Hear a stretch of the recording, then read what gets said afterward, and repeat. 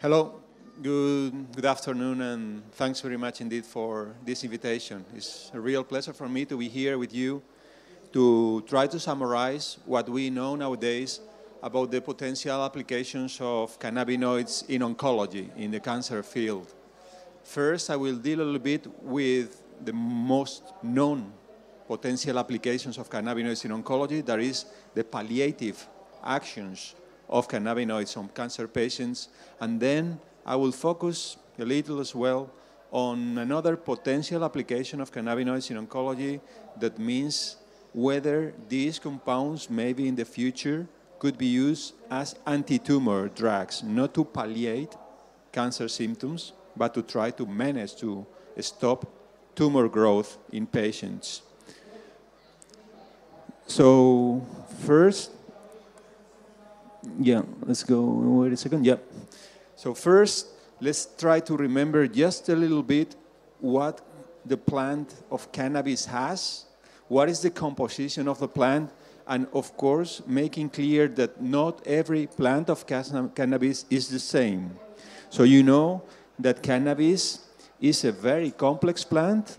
Nowadays, it is believed that there are 300,000 different species of plants on the earth, but only one that we know so far, Cannabis sativa, produces these very peculiar compounds, the cannabinoids. Cannabis sativa has, most likely you know, more than 100 different types of cannabinoids. And of course, the best known one is delta 9 tetrahydrocannabinol, THC, because it's usually the most abundant cannabinoid in most plant preparations. And on the other hand, it's usually the most potent, biologically potent cannabinoid. So if we put together those two features, high abundance and high potency, THC is usually, as you know, the paradigmatic cannabinoid, the most responsible, the main responsible of the cannabinoids within the plant to make this plant be bioactive in our body. But you also know well that there are many other accompaniers to THC. There are many other cannabinoids in the plants, and usually the second cannabinoid in relevance is CBD, cannabidiol. Cannabidiol is not psychoactive. It usually, on the contrary, tends to palliate, tends to decrease, and to temper the psychoactive actions of THC so that the plant that has high levels of cannabidiol is usually very well tolerated. And CBD has also some interesting therapeutic properties by itself. For instance, palliating epilepsy, for instance, trying to um, make uh, pain, mostly inflammatory pain, to get down, etc. So, although there are other many other cannabinoids within the plant. Today, nowadays, we know quite well what is the pharmacology of THC, what is the pharmacology of CBD, whereas the rest of the compounds are not so well known, and they are usually minor compounds in the plant. So just as an approximation, it's not absolutely true, but just as an approximation, you can believe that the pharmacological properties of a particular plant cannabis is the result of the relative amounts and absolute amounts of THC and CBD within it. So we have on the one hand, you know, plants which are very rich in THC. On the other hand, you have we have plants that are very rich in CBD, not very useful, but sometimes. And sometimes we have plants which are in between THC, CBD with different radius. You know as well, I think, that cannabinoids, the active compounds of cannabis, does, do not act on our body by magics. They act because they have specific molecules that bind them, that recognize them, that sense them, and therefore make our tissues, our organs, to be sensitive to cannabinoids. And those molecules that say receive cannabinoids on the surface of our cells are called, therefore, cannabinoid receptors. So here is just an example, a simplified example of a neuron in our brain that has one of these cannabinoid receptors, one of these cannabinoid sensors. There are two types, one and two, but this is not relevant now.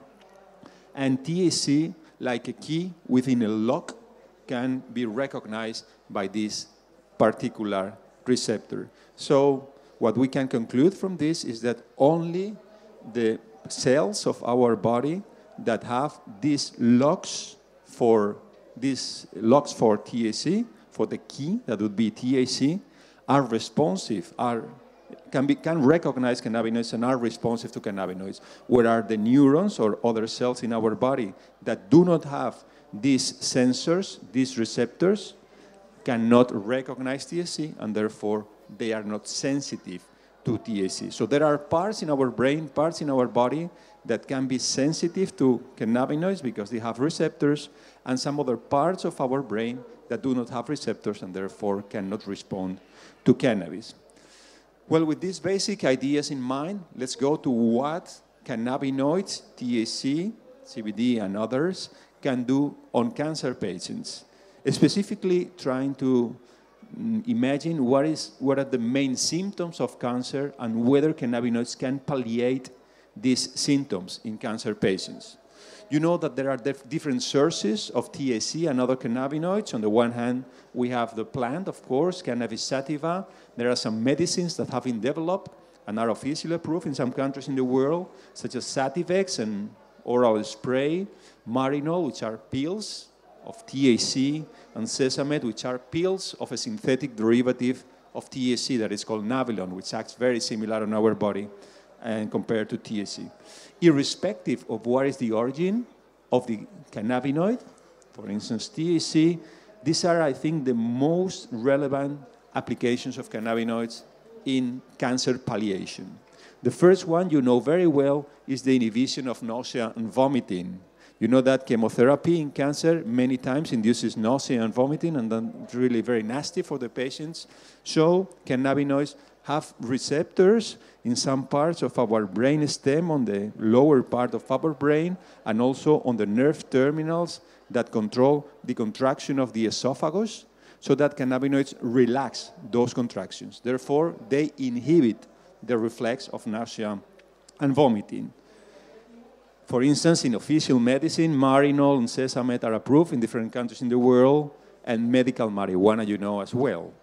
What is the efficacy of cannabinoids in this uh, particular uh, process? Are cannabinoids good anti-nausea compounds? Are they bad? Are they in between compared to other drugs that are currently used? So in general, we believe that cannabinoids are better than the classical anti-emetic drugs that, are, that are called D2 antagonists. They are kind of so-so with the currently used um, antiemetic drugs that are called setrons. Chemically speaking, pharmacologically speaking, they are antagonists of one of these HC receptors, I mean the serotonin receptors. Um, doesn't not relevant, but I would say that overall cannabinoids are pretty good anti-nausea compounds. In general, they work better to inhibit prolonged nausea than acute nausea when a patient goes through a chemotherapy session sometimes nausea occurs within the same session or very little afterwards, even sometimes uh, before because of a psychological predisposition against the, the, the, chemotherapy. But some other times nausea occurs one day, two days, three days after chemotherapy. That is what we call long-term nausea compared to short-term nausea. So cannabinoids are usually better to prevent, to turn down long-term nausea than short-term nausea, but they are used for both types of, of nausea. Well, the second application that you also know well is to stimulate appetite when one smokes, appetite increases, and to increase what we call in metabolic terms anabolism. That is, when we eat, we can either burn that food or we can use that food for being stored in our body. That second process is called anabolism. So cannabinoids not only make us eat more, but also store more the nutrients we take. And overall, for these two processes, cannabinoids are good for palliating, for decreasing, for attenuating weight loss in cancers that are, in patients that are suffering from cancer in a chronic stage. You know that weight loss, what is called cachexia, is one of the most nasty effects that a cancer patient may have. They lose weight in advanced stage very rapidly, and that sometimes is the cause of death, in fact, in those patients. So cannabinoids can prevent, can attenuate cachexia pretty efficiently.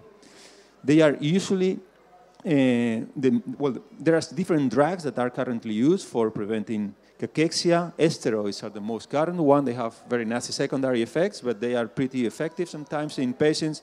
Cannabinoids are usually a little less efficient than these drugs, but they have a more a safer uh, profile, a safer pharmacological profile that is less negative effects, less secondary effects. So at the end, they can be so-so compared to current anticachexic uh, compounds. The third one is analgesia, that is decreasing pain, inhibiting pain. You know very well that cannabis is analgesic. It's one of the most effective and widely used analgesic, or at least long used analgesic, which was maybe one of the first uses of cannabis in all Western, in all Eastern um, societies some 50 centuries ago. And for instance, Sativex is approved in Canada to palliate uh, cancer-related pain Medical marijuana is also prescribed to patients in some countries in the world to palliate pain. And I would say that cannabinoids in this respect are kind of similar to moderate opioids, such as codeine stronger opioid, such as morphine, is usually stronger than cannabinoids, but also have a stronger secondary effect. So at the end, pain is a very complex process. There are many different types of pain, and depending on the, on the patient, sometimes it's better to use some kind of ibuprofen or paracetamol, aspirin, etc. Sometimes it's better to use steroids, sometimes it's better to use opioids, and sometimes, of course, it's better to use cannabinoids. They are more efficient than other in some patients. And the fourth one is how cannabinoids affect mood. That is also very important, not only for all of us, but mostly for patients which are in a chronic stage, such as many cancer patients. So increasing uh, our mood, decreasing anxiety, decreasing depression, etc., is of course pretty important for those patients. And cannabinoids, you know, are compounds that kill anxiety and depression can make us feel better and so on. So still they are not used so much for this precise uh, problem in cancer patients, but it's something that accompanies the other three uh, different uh, processes when they are taken by cancer patients. So all in all, just to conclude this part, yeah, to make a little summary of what we know today, whether cannabinoids can be used as palliative drugs and how good or bad they are, in which precise patients they are better, they are worse. I would say, of course, that I was developing now that cannabinoids are effective as palliative medicines in cancer patients. Some standard medicines can be stronger than cannabinoids in efficacy to palliate some of the of, the, of these problems, of these symptoms of cancer, but sometimes when these drugs are stronger, they are also stronger in secondary effects. So at the end, cannabinoids have a very good balance between therapeutic effects and non-desired uh, effects. Sometimes, of course, cannabinoids are not so well tolerated by some patients, but usually when we have plants or extracts rich in CBD, we can have quite a good tolerability of those plants, much better than when THC is the only relevant cannabinoid in the preparation, as you know well. So when can you use cannabinoids or when is it recommendable to use cannabinoids instead of the standard or accompanying the standard medicines that are used to palliate these bad symptoms of, of cancer? For instance, there are patients that either A, do not tolerate or B, do not respond well to those medicines. Sometimes those standard medicines do not make any good effect, or they do an effect for a time and then patients become tolerant, or sometimes those patients from the very beginning they do not respond well to cannabinoids. So we can replace do, do respond well to those standard medicines. So we could replace those standard medicines by cannabinoids. So cannabinoids could be an alternative therapy um, instead of uh, classical therapies in those patients. See, there are patients that do not respond well to those medicines, but they respond partially. So sometimes when we combine cannabinoids with other standard therapy, we can have what we call a synergic effect. We can have a very strong effect when putting together two different medicines. That happens, for instance, in the treatment of pain. That is maybe the most relevant effect, the one that is better illustrated in the scientific um, literature. Some patients do not respond well to opioids, to morphine, for instance, or morphine exerts very strong side effects on those patients. When we put together in those patients a little bit of morphine with a little bit of cannabinoids, the two together have a very strong synergic effect. They act together, they cooperate together to have a very strong effect on the patient, a very strong analgesic effect of, on the patient. That means that when using some cannabis, we can decrease the amount of opioids that are used by those patients, therefore decreasing very clearly, very significantly, the side effects that are produced by morphine. So a little bit of cannabis and a little bit of morphine sometimes is much, much better than some cannabis and some morphine when they are used by separate. So looking for those combinational therapies, those mixers of compounds is usually very, or can be very effective in, in the treatment of, of the symptoms of cancer.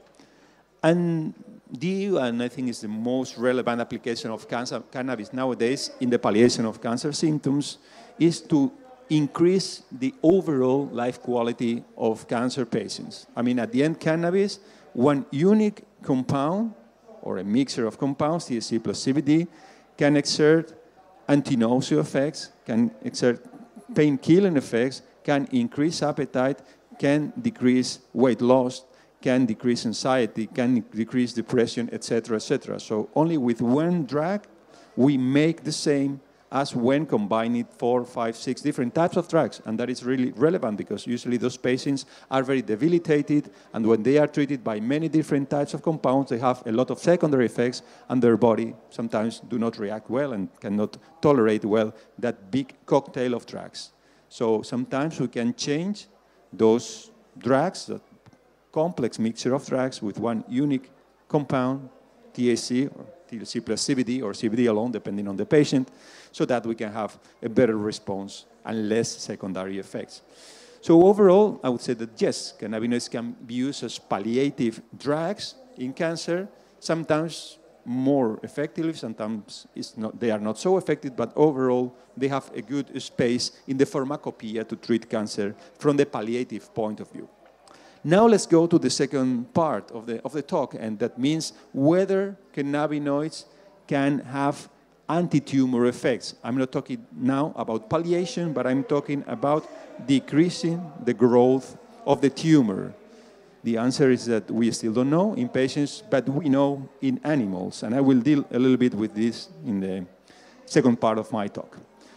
Well, these were some experiments we did uh, about 15 years ago. The first one that we published in this field of cannabinoids and cancer, in the uh, cannabinoids and anti, as anti-tumor drugs, in which you can see here some mice that have a tumor on their skin, and this is a mouse that has been treated just with the solvent, I mean, in which cannabinoids are diluted. that, that is what we call a control mouse. This is a mouse that has been treated for one week with THC. You see its tumor.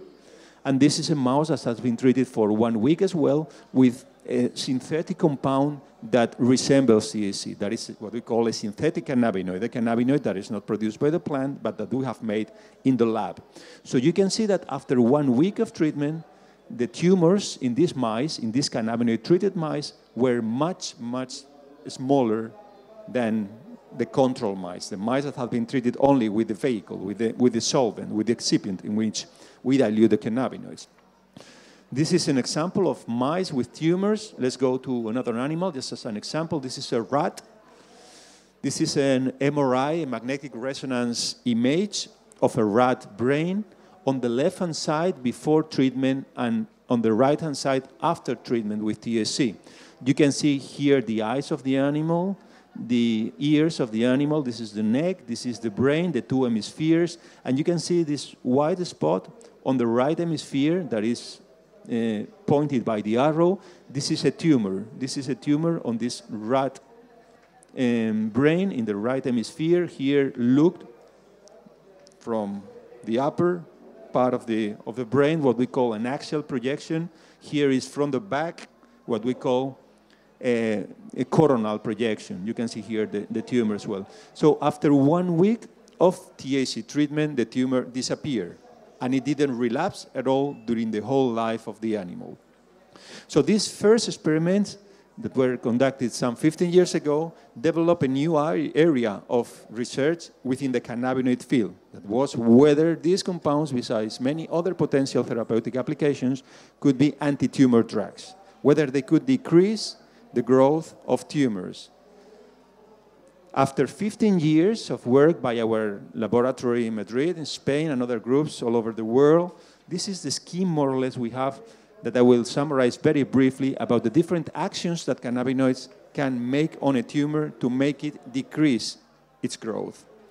Cannabinoids, you know, act via cannabinoid receptors, CB1 and CB2 receptors. So the first thing we had to demonstrate it was that CB receptors are not only in neurons, are not only in other tissues of the normal body, but also in cancer cells. And nowadays we know that I would say every type of cancer cell expresses CB1, CB2, or both receptors. So cancer cells have those antennas, those um, locks in which cannabinoids can enter, and therefore cancer cells are sensitive to cannabinoids. There are different processes, at least we know five different processes of a tumor that are um, responsive to cannabinoids and through which cannabinoids can decrease the growth of tumors. You know that tumors, as I represent here by these vessels, by these blood vessels, tumors must have access to blood because blood is transporting oxygen, is transporting nutrients. So every tumor needs to develop a particular blood vessel network to get the nutrients, to get the oxygen from the host, from the patient. So that process is called angiogenesis. So decreasing angiogenesis is one of the strategies nowadays to try to decrease tumor size. So cannabinoids, we have seen that in mice, they can decrease angiogenesis. They have different mechanisms, for instance, by acting through this molecule, doesn't matter now, but cannabinoids on the one hand can decrease the formation of blood vessels within tumors. So they decrease the supply of nutrients to the tumor. You know that cancer at certain stages can invade other tissues, can travel by the bloodstream to go to other corners of the body to make metastasis. And that is a very late stage of cancer and usually related to cancer mortality. So we know to, as well that cannabinoids can decrease the invasion and the migration of cancer cells to make metastases on other parts of the tumors, so far in mice and in rats. Third, of course, cell, uh, cells that are making a tumor, when the tumor is growing, they have to divide. They have to mate from one mother cell to sister cells, four sister cells, eight sister cells, etc., etc. That is what we call the cell cycle or cell proliferation. So we also know that cannabinoids can blunt, can inhibit the proliferation of cancer cells. Cannabinoids can induce what we call the differentiation of cancer cells. What does it mean in a few, in a few words? So many cells in some aggressive cancers are cells that are not Uh, in an adult stage. They are in a kind of embryonic-like stage so that they are very malignant. They can replicate, they can travel to other parts of the body. And when cells lose this embryonic-like uh, stage, they become, say, adult. They become mature. They become what we call in, in, in, biology differentiated. So a cell of a tumor that is adult, that is differentiated, is very little malignant. Whereas a cell of a tumor that is very little differentiated, that is a newborn cell, that is an embryonic-like cell, is a very malignant cell. So cannabinoids can increase, can favor the differentiation, the maturation of cancer cells to make them less malignant. And finally, and the most relevant one for that reason I highlighted here, cannabinoids can induce directly the death of tumor cells. Cannabinoids can kill tumor cells by a process that in cell biology is called apoptosis. So all in all, by these five types of mechanisms, cannabinoids are very efficient in decreasing the growth of tumors in mice and rats. That is what we know after about 15 years of research. So how good can be cannabinoids, not only in mice and in rats, but of course what we want to, to know in patients regarding Eh, anti-tumor efficacy. Well, it's very difficult, as you know, to go to clinical trials, to cl trials with humans, especially with cannabinoids, because they are compounds that are natural, they are in the plant, they, are, they say belong to nature, they don't belong to anyone, fortunately. So pharma companies cannot patent these compounds. So it's very difficult to get funding from the pharma companies to make a clinical trial with a compound that belongs to humankind and does not belong to them. They will not make money, they will say, if they go to clinical trials with them. Of course, there is as well, you know, a lot of reluctancy among many medical doctors and among many, many authorities, medical authorities in many countries in the world, because they still believe that cannabis are harmful, that cannabis are drugs that make you mad, and so on, so on, so. That uh, bullshit that still occurs in many countries in the world. So at the end, it's pretty difficult to go to clinical trials with cannabinoids, but we are into that, and little by little we are seeing the light, and I will tell you later on, but it's taking quite a big effort.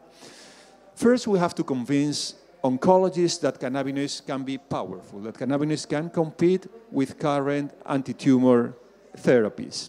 And what we have done in many different models of cancers in, in animal is trying to get the best combinations of cannabinoids, the best conditions to make cannabinoids work pretty efficiently, pretty efficiently in these models of cancer.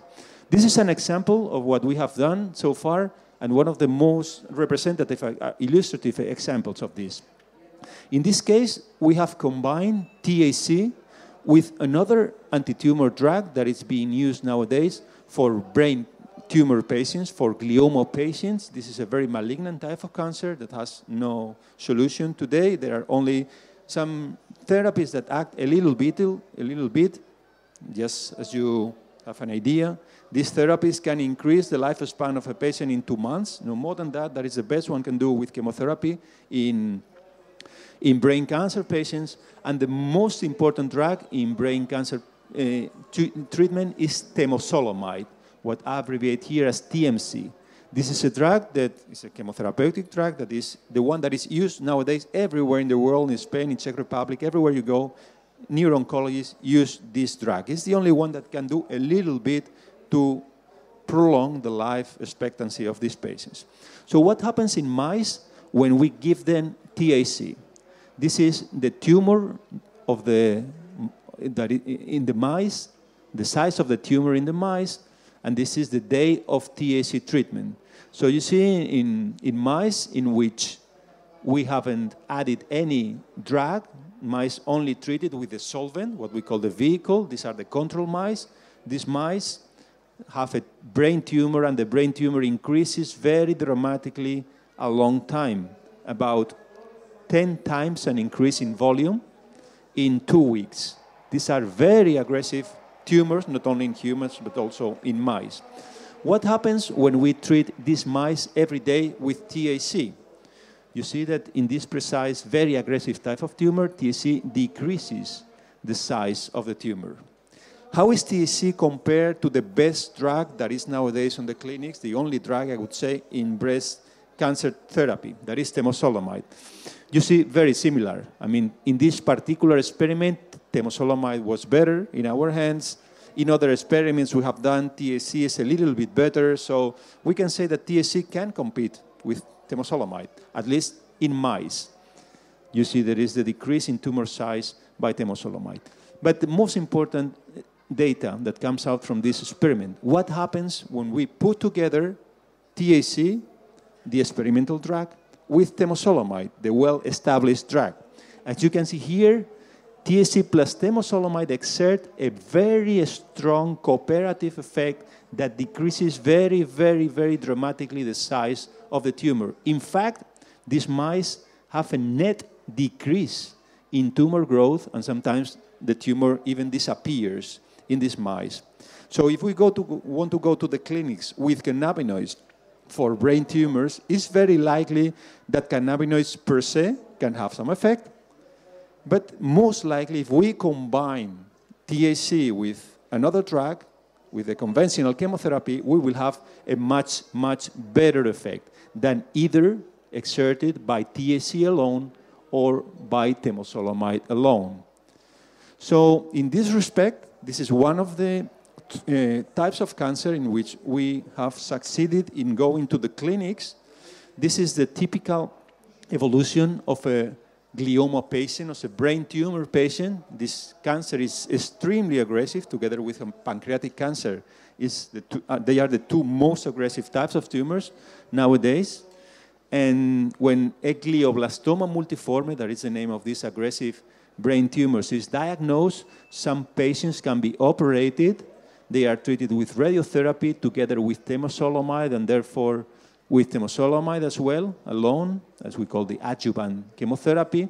And in this primary glioma, sometimes the size decreases, but after a few months, one year at the most, the tumor appears again. The tumor relapses. We have a secondary, a recurrent, a relapsing tumor that grows extremely fast and usually kill the patient in about four or five months. So when we go to clinical trials, and that's a problem also at the beginning, one has to start from the late stages of the disease. The standard therapy is this one everywhere in the world, and although it is not extremely effective, it's the one that is admitted nowadays in official medicine. So we have to go to patients that have passed these standard therapies. These standard therapies didn't work because there is a secondary tumor that comes out, and then here in the relapsing stage is where we can treat patients. So the trial that is being conducted, that is announced in this official uh, web page of the U.S. Uh, National Cancer Institute, is a trial in which cannabinoids in the form of Sativex, that you know is a combination of THC plus CBD, plus other cannabinoids as well, but mostly THC and CBD, cannabinoids are combined with temozolomide. So this trial is being conducted nowadays in the United Kingdom. It started some few months ago, and maybe in a couple of years' time will tell us whether Sativex combined with temozolomide has some important effect or not in, in, in brain cancer patients. This trial was conducted with Sativex because it was the only way that we could have the European regulatory agencies to approve a clinical trial with cannabinoids. We cannot convince them at all to use cannabis oils or something like that. They need, they only approve trials with official medicines. So that's a problem also in the field of, of cannabis because we can only go to trials with official medicines. But at, well, at least if this trial works, we will know that THC plus CBD, irrespective of, of whether it is in Sativex or in a cannabis oil preparation, works together with temozolomide. And that is our goal, in fact. So, but still, we will have to wait to about two years for this trial to be finished. You know that, that there are other pieces of news during the last couple of months that may, can make us a little bit optimistic in this field of cancer. Because some other uh, trials or medicines are started and they can give us some hints as to whether cannabinoids can be anti-tumor drugs in, in patients.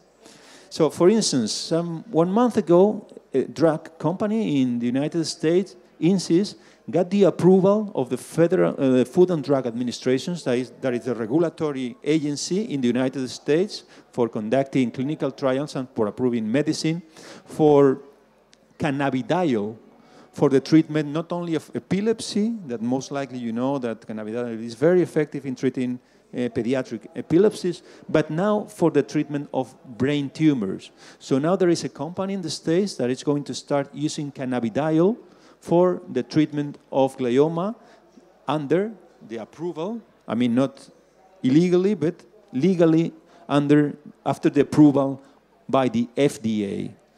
FDA has given the approval not as a first line uh, treatment, as a standard treatment for gliomas, but for gliomas that did not respond to the standard treatment, what we call the orphan drug designations. An orphan disease is a disease that cannot be treated with, the, with standard therapy.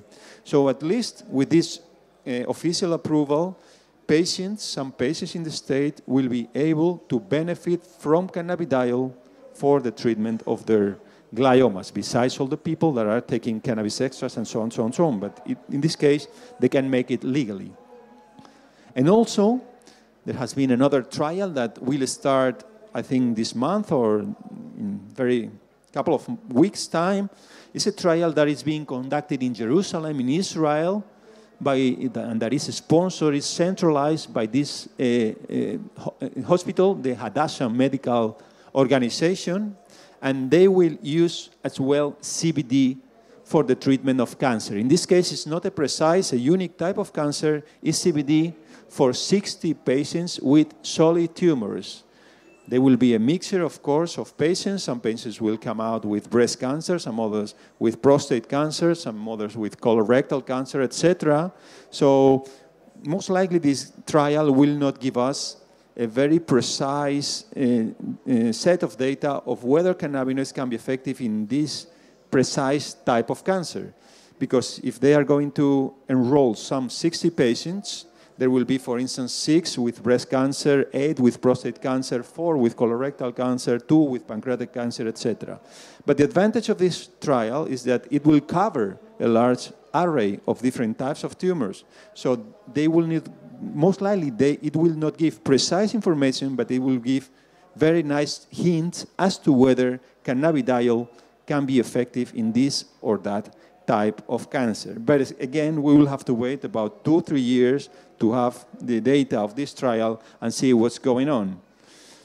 So in the meantime, this is what we know. Unfortunately, we are quite advanced in the knowledge of what cannabinoids do in animals, but very far of getting to know what cannabinoids do in cancer patients we, have, we must have patience and we have to put all our efforts in these trials. But as I told you, it's, not, it's very complicated and it's not simple at all to get permissions to, to conduct these trials.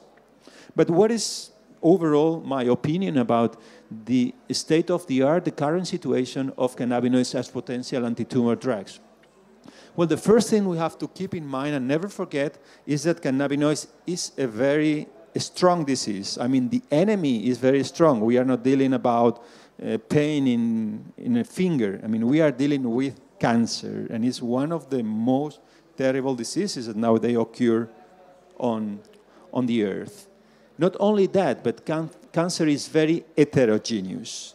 When we talk about cancer, we, that is a popular, a lay citizen a, word, but cancer is a very complex mixture of diseases, and every type of cancer is different. In fact, the therapies that now are nowadays approved for many different types of cancers are usually employed only for one precise type of cancer, or maybe for two, for three, but there are no single cancer therapy nowadays that is valid for the about 200 different types of cancers that the World Health Organization has typified so far. So there are 200 different types of cancers, there are 200 different types of diseases. So we cannot be so naive to think that cannabinoids are going to be effective in those 200 different types of diseases. Cannabinoids could be effective, and that would be really nice in some types of cancers. They will be not so effective in other types of cancer, and most likely they will not be effective in other types of cancers. So we have to think about first the enemy the weapons the enemy has, and second, what precise enemy we want to kill, and not the whole army of cancers. Of course, it's very nice to test all of them, but that will take centuries, I would say. That will take a very long time. But at, at, least if we get to know the most prevalent types of cancers, the 10, 12 most prevalent types of cancer, most likely we will cover about 90% or 95% of cancer, of cancer patient populations. What is the laboratory animal, what we call the preclinical, before the clinics, evidence that we have? I would say, and I would dare say, and state and claim that cannabinoids are effective drugs. They are pretty good drugs to treat at least some types of cancers, and I would specify some models of cancers in mice or rats. And I say models because, as you most likely know, and well, I'm sure you know, when we develop a disease, irrespective of whether it's cancer or Alzheimer's disease or Parkinson's disease or epilepsy or whatever disease, in a mouse, that disease is not exactly the same as the disease that occurs in humans. The disease that is developed in a mouse is always much simpler than the disease that occurs in a human. So curing a mouse is difficult, but curing a human is much, much, much more difficult. So when we have good data in mice, we have to be cautious, and we, of course, cannot extrapolate that to humans directly. Many things, many drugs, for many different diseases, do well in mice, work well in mice, but they don't work in humans because we are more complex and much weaker animals, by the way, than mice. What happens about all those reports that come out in internet, so many patients calling and writing, and in the last Mm, years it has increased, the size of the ball has increased really very largely. I mean, some four or five years ago, just to tell you an approximation, I receive about one email or one call from patients every three or four days. And now I have four or five calls, emails, etc., per day. So it is true, and that is very nice, that people have lost their fear to use cannabis. There are many reports in internet. There is a lot of mouth-to-mouth information uh, transfer about the potential beneficial use of cannabinoids in cancer as palliative and as maybe curative drugs. That is what we call uh, usually what is called in, in medicine anecdotal information. It doesn't mean that it's a despective word. I mean, it, it's anecdotal because it comes from one patient, from another, from another, and not from a large cohort of patients of 2,000, 3,000 patients altogether. I would say that it is possible, and I do believe that in some patients there has been effects. And of course, it's very desirable. I would love that some patients would have cured of cancer because of, of cannabis.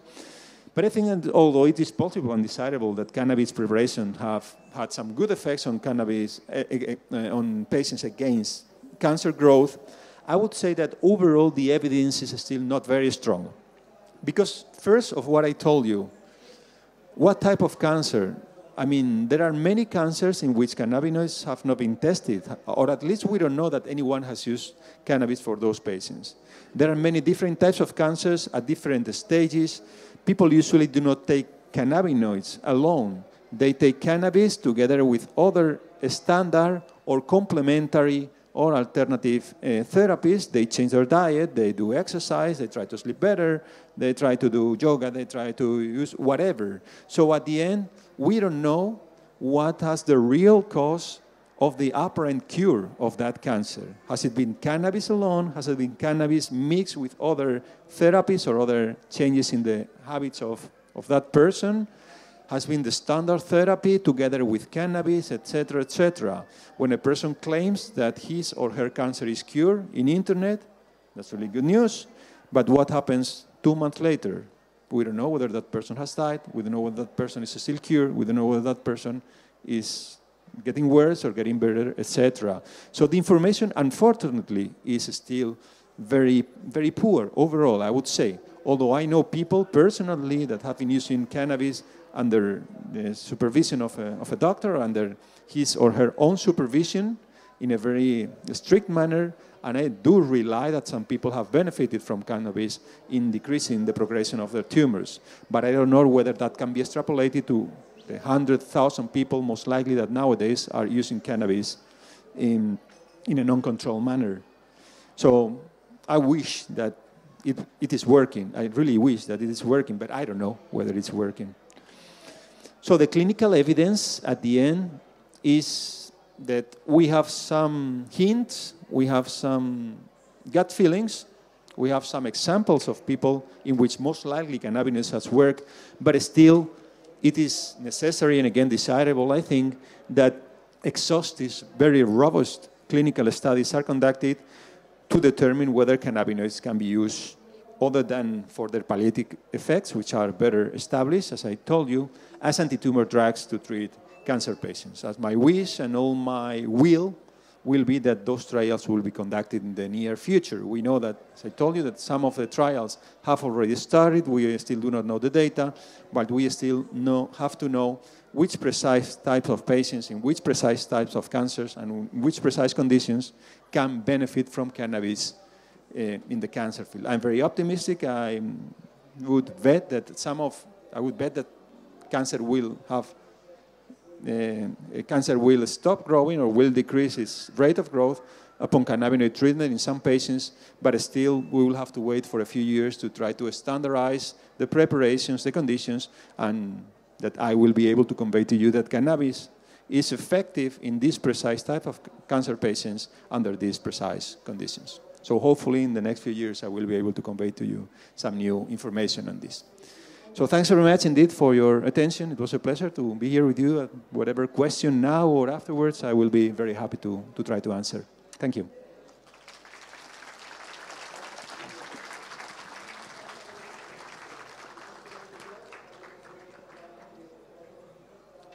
Questions? Dotazy?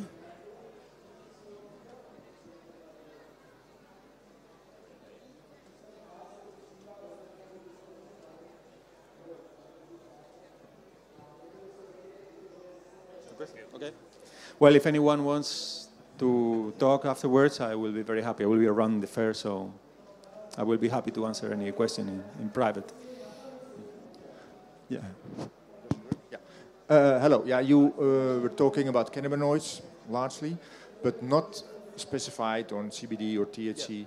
Or combinations or whatever. Yeah. You know, maybe you can say something about Yeah, it. yeah, sure, sure, sure. Well, I tried to. Well, it was a very general talk, of course, and I had to summarize.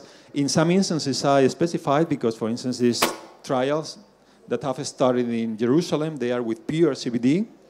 The trial that is, well, the application of uh, cannabinoids to pediatric gliomas that have been given approval by the FDA in the United States is also for pure CBD. The trial that is being conducted in the UK uh, with Sativex of course, with Sativex, a combination of THC and CBD plus other cannabinoids. We are trying to conduct, thanks to the person you have on your right-hand side, Luc Krol from the Medical Cannabis Bike Tour. We, they are sponsoring a clinical trial in Madrid in which we are involved, and hopefully we will be able to start by next year by mixing THC, pure THC with pure CBD in a one-to-one ratio. So those are, unfortunately, there are only those three plus this one that is on the way. The only trials that are being conducted in humans. In mice, we have used many different types of cannabinoids, not only THC and CBD in pure form, but different combinations of them in very different ranges. We have used also synthetic cannabinoids. We have used also natural cannabinoids or compounds that mimic the action of anandamide, etc. I would say that in general, all the cannabinoids are anti-tumor, but because every type of cancer is different, and of course, therefore, because every model of cancer in mice is different, then and every cannabinoid, every cannabinoid is not the same as its cousin or its relative. They have different peculiarities in their mode of action, as you know well. There are cancers in which THC is better than CBD. There are others in which CBD is better than THC. There are others in which mixers are better than single compounds, etc. I would say that overall, THC is better than CBD. But there are some cancers in which CBD seems to be as good as THC in mice. For instance, breast cancer. In breast cancer, I would say that CBD is very strong candidate for going to clinical trials. In colorectal cancer, CBD is also very efficient. But in, for instance, in brain tumors, THC is better than CBD. Or in pancreatic tumors, THC is better than CBD. In hepatocellular carcinoma, THC, at least in mice, is also better than CBD. So that depends on the tumor. At the end, I think the most mm, potentially successful therapy would be a mixture of THC and CBD. And that is the reason for which we have chosen that mix of one to one. Sometimes could be better two to one, some others one to two, but I don't think it's going to make a big difference. If we put together significant amounts of THC and CBD in a patient, I'm sure that the patient will benefit from THC and CBD. So why not mixing? And I think the, the main avenue of medical marijuana in general, not only in oncology, are those different mixtures of THC and CBD, except for that particular diseases, such as epilepsy, for instance, in what CBD, in which CBD is clearly better than THC. Even THC can worsen the status of an epileptic patient. But in general, I would favor THC and CBD mixers in, in medical marijuana. Thank you. Thank you. Do you have any experience with healing leukemia? Um, we have experience with leukemia in mice, Mm, and I have heard from two or three patients with leukemia, and unfortunately, not more than that. In the mice, it works. Cannabinoids work, uh, mostly THC, better than C- CBD in this case. talking about natural cannabinoids, there are other synthetic cannabinoids that are very efficient for leukemia. But in humans, we don't know. I mean, I've heard of some patients that are taking cannabis and they seem to be doing well with cannabis, but I have lost their track and they didn't call me or write me again. So unfortunately, it's one of the tumors in which we have that is very prevalent and we have little information. Yeah, less than, for instance, in breast cancer or the types of cancer in which more people take and more people convey their, their results.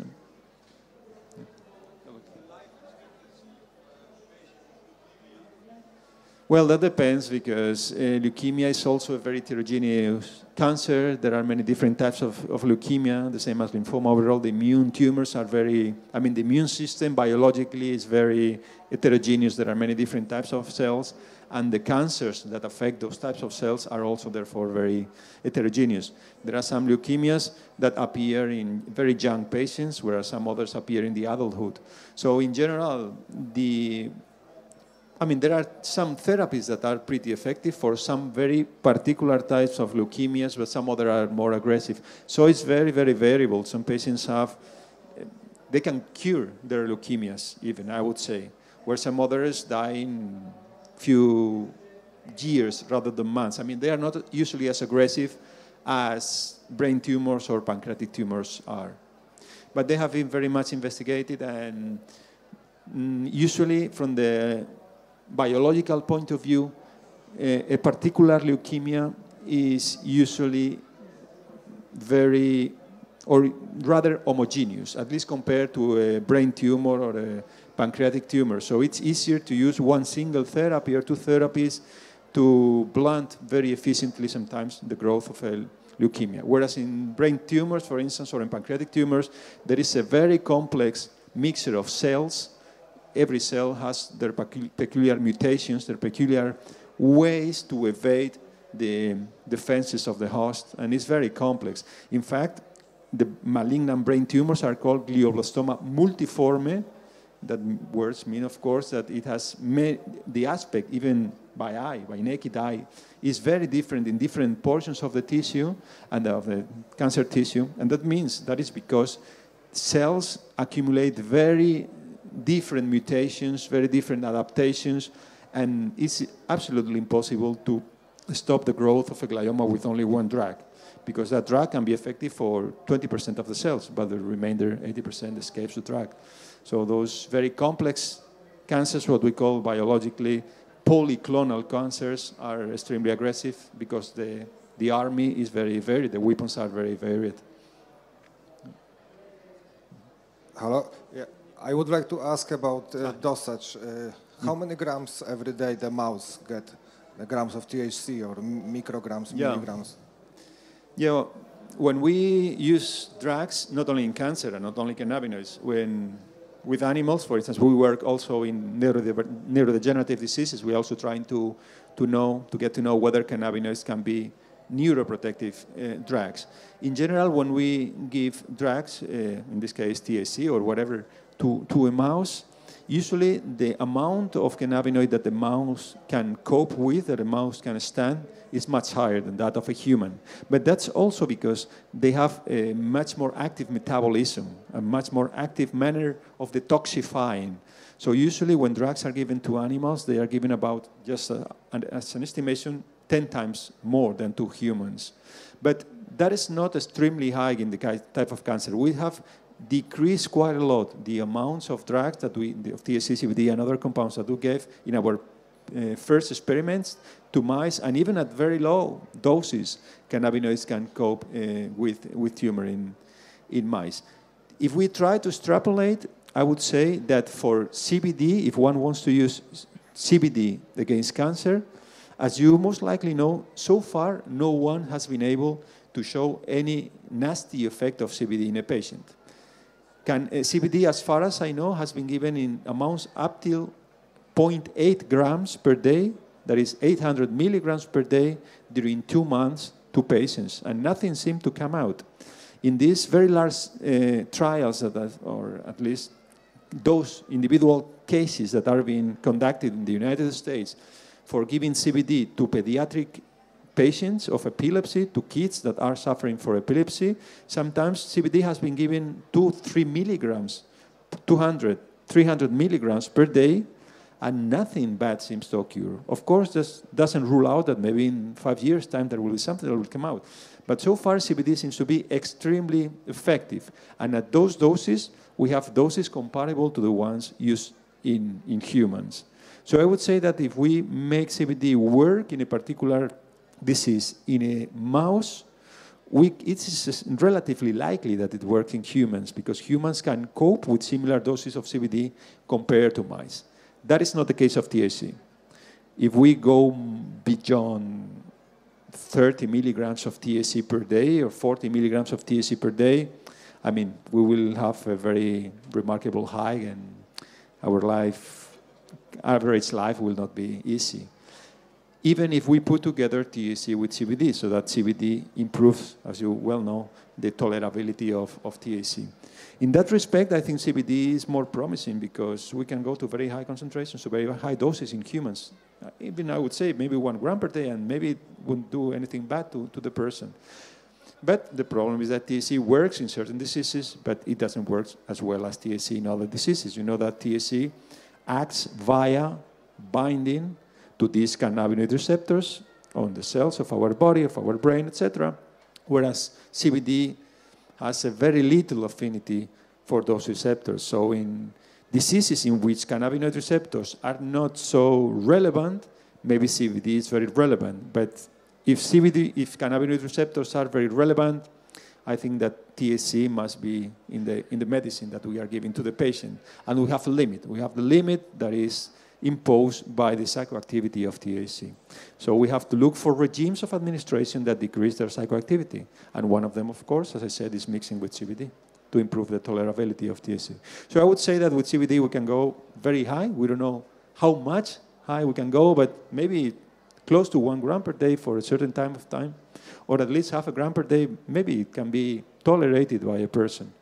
With THC, I think going more than 40, 50 milligrams per day, it's usually complicated.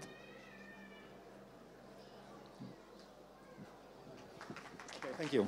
And as I said, if anyone wants to, to talk afterwards, I will be happy.